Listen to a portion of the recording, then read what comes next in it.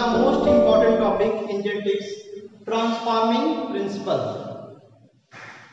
You already know कि Mendel discovered the law of inheritance and also Frederick Mason discovered the nuclein in the first cells of nucleus.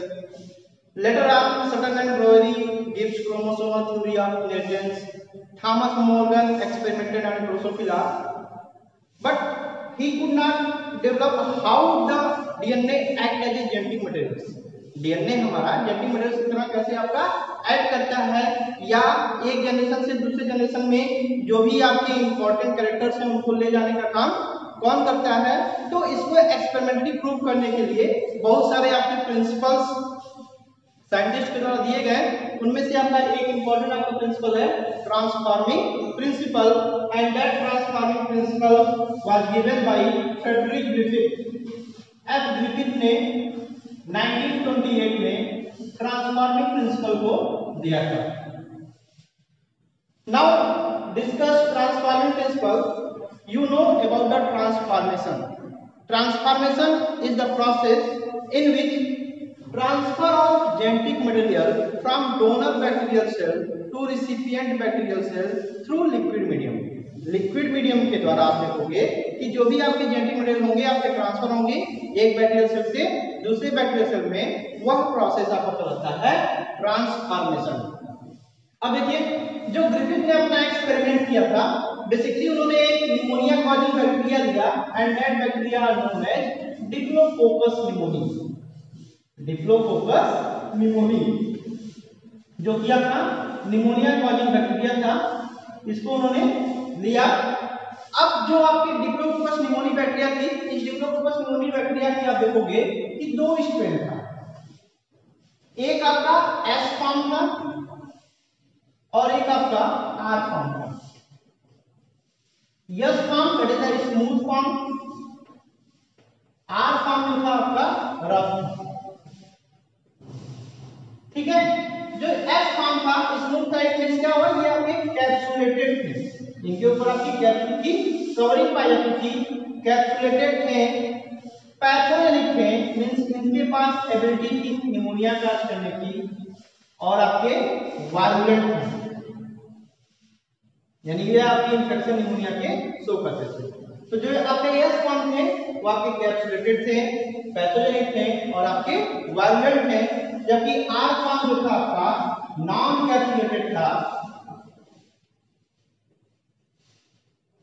non-pathogenic and A वार्मेंट means जो नाम से या फिर pneumonia काज नहीं करते। ठीक है? तो जो आपकी ग्रिफिथ ने ग्रिफिथ ने जो आपका बैक्टीरिया लिया diplococcus pneumoniae that is the causal agent of pneumonia इसकी उन्होंने दो स्ट्रेन ली एस फॉर्म और आपका आर फॉर्म एस फॉर्म जो था, आपका कैप्सुलेटेड था पैथोजेनिक था वायलेंट था इट मींस इसके पास एबिलिटी थी निमोनिया काज करने की, जबकि आर फॉर्म जो था आपका नॉन कैप्सुलेटेड था नॉन पैथोजेनिक था, और आपका ए वायलेंट तो ए वायलेंट था इट मींस इसके पास एबिलिटी नहीं थी निमोनिया काज करने की। ग्रिफिथ ने अपना एक्सपेरिमेंट किसके ऊपर किया आपका? माइस के ऊपर किया। Basically step by step process है। बेसिकली जो भी आपका ग्रिफिथ ने एक्सपेरिमेंट किया बेसिकली फोर स्टेप्स के प्रोसेस है। सबसे पहले उन्होंने क्या किया? सबसे पहले उन्होंने एस फॉर्म लिया। सबसे पहले स्टेप में स्टेप वन में एस फॉर्म लिया। एस फॉर्म को इंजेक्ट कराया माइस में। इंजेक्ट कराया माइस में और माइस आपका डाई कर गया ड्यू टू द निमोनिया ठीक है? फ़र्स्ट स्टेप में क्या किया उन्होंने? एस फॉर्म लिया एस फॉर्म को इंजेक्ट कराया माइस में और माइस आपका डाई कर गया due to the presence of pneumonia और उसकी बॉडी से उन्होंने एस फॉर्म को फिर से आइसोलेट कर दिया। स्टेप टू में उन्होंने क्या किया? आर फॉर्म लिया। इस आर फॉर्म को फिर इंजेक्ट कराया माइस में और माइस आपका एलाइव था। बिकॉज़ जो आपका आर फॉर्म था, वो आपका कैसा था? ए परमेंट था। इट मींस जो माइस है उसको आपका निमोनिया नहीं हुआ और माइस आपका जीवित था और उसकी बॉडी से आर फॉर्म को आइसोलेट कर दिया। थर्ड स्टेप में उन्होंने क्या किया? कि उन्होंने यस फॉर्म को हीट कर दिया। Heat S form S form को जब हीट कर दिया तो वो आपका डीनेचर्ड हो गया। और उसको जब हीट कराया माइस में तो माइस आपका एलाइव था। ठीक है? थर्ड स्टेप में हीट यस फॉर्म दिया, उसको हीट किया और इंजेक्ट किया माइस में। माइस आपका एलाइव था, क्योंकि यह आपका जो यस फॉर्म था, वो आपका हीट करने से कैसा हो गया डीनेचर्ड हो गया स्टेप फोर में उन्होंने क्या किया कि हीट यस फॉर्म लिया heat S form plus R form living R form को हीट नहीं किया। आर फॉर्म लिविंग लिया। इसका क्या किया मिक्सचर अब इस मिक्सचर को इन्होंने जब माइस के अंदर इंजेक्ट कराया तो उनको सरप्राइजिंग रिज़ल्ट मिला कि माइस जो हो गया आपका डाई कर गया। ठीक है? आप देखिए स्टेप टू में आर फॉर्म लिया। आर फॉर्म को जब इंजेक्ट करा माइस में माइस लाइफ था। हीट यस फॉर्म लिया। इसको जब माइस में इंजेक्ट करा, तब भी वो लाइफ था। लेकिन जब हीट यस फॉर्म लिविंग का मिक्सचर लिया, और इसको जब इंट्रोड्यूस कराया माइस में तो माइस डाई कर गया। ठीक है? तो यहाँ पर आपको देखिए सरप्राइजिंग रिज़ल्ट मिला।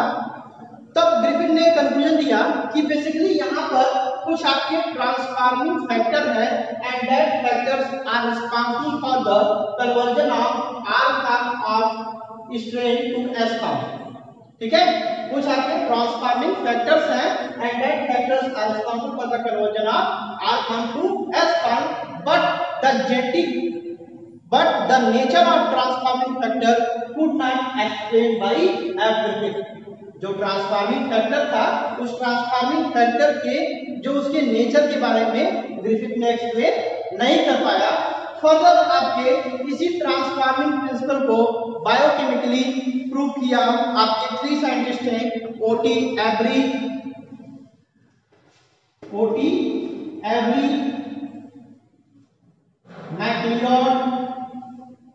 और मैकार्थी ये थ्री साइंटिस्ट हैं, जिन्होंने फर्दर ट्रांसफार्मिंग प्रिंसिपल को बायोकेमिकली प्रूव किया और प्रूव करके बताया कि डीएनए ऐड करता है जेनेटिक मटेरियल की तरह. तो let us see how prove तो फ़र्स्ट इन्होंने क्या किया? बेसिकली आप देखोगे कि जो भी आपके साइंटिस्ट हैं ओटीएफबी मैक्लियार्ड और मैकार्थी इन्होंने एंजाइम्स लिए। दो एंजाइम्स लिए, एक आपका लिया डीएनए और एक एंजाइम लिया आपका प्रोटीएज अब देखिए डीएनए क्या है? That is the DNA digesting enzyme और प्रोटीएज क्या है? That is the protein digesting enzyme आप जानते हो, जो भी आपका वायरस होगा या जो भी आपके जेनेटिक होंगे उसमें आपका प्रोटीन होगा प्रोटीन होगा और आपका डीएनए होगा। तो इन्होंने क्या किया कि उन्होंने पहले केस में क्या किया? सबसे पहले एक्सपेरिमेंट में उन्होंने heat S form plus R form living का मिक्सचर लिया। आर फॉर्म लिविंग का मिक्सचर लिया और इस मिक्सचर में उन्होंने प्रोटीएज डाल दिया। उस मिक्सचर में उन्होंने क्या कर दिया? प्रोटीएज डाल दिया। अब उन्होंने क्या देखा कि यदि जब प्रोटीन जब आपने डाला तो जो भी आपके प्रोटीन जब आपके डाइजेस्ट कर गया ठीक है? तो उन्होंने देखा कि ट्रांसफार्मिंग हुआ और उनकी जो आपका माइस की बॉडी था, उसकी माइस की बॉडी में एस फॉर्म रिकॉर्ड हुआ ठीक है? Presence of S form indicate that transfer of DNA takes place आप देखो, क्योंकि हीट फॉर्म था आर फॉर्म भी था लेकिन यहाँ पर माइस की बॉडी में क्या मिला? एस फॉर्म मिला। तो यहाँ पर इंडिकेट कर रहा है कि जो डीएनए है, वो डीएनए आपका ट्रांसफॉर्मिंग हुआ। सेकेंड केस में उन्होंने क्या किया? एक्सपेरिमेंट टू में वहाँ पर भी आपका सेम मिक्सचर लिया डीटीएस फॉर्म और आर फॉर्म लिविंग और इसमें आपका डीएनए एंजाइम को इंट्रोड्यूस कराया जब डीएनए इंट्रोड्यूस हुआ तो जो भी आपके डीएनए थे, वो आपकी तो डाई करके डाइजेस्ट हो गए, ठीक है? तो यहाँ पर देखिए कि कोई भी आपका ट्रांसफॉर्मेशन नहीं हुआ तो absence of transformation indicate that the transfer of genetic material from one bacterial cell to other bacterial cells are take by DNA and now he concluded that DNA act as a genetic material. तो OT Avery MacLeod और McCarty ने transforming principal के आधार पर biochemically prove किया कि DNA जो है आपका जेनेटिक मटेरियल है। लेकिन आप देखो, तब भी जो साइंटिस्ट थे अभी भी आपके कंफ्यूजन में थे। फर्दर लेटर और चेस का एक्सपेरिमेंट हुआ। ऑन द बैक्टीरियो फ़ेज़ और वहाँ पर आपका क्लियर हुआ कि डीएनए आपका जीनोम मटेरियल की तरह बिहेव करता है। In the next video we have discuss about the Hershey and Chase experiment thank you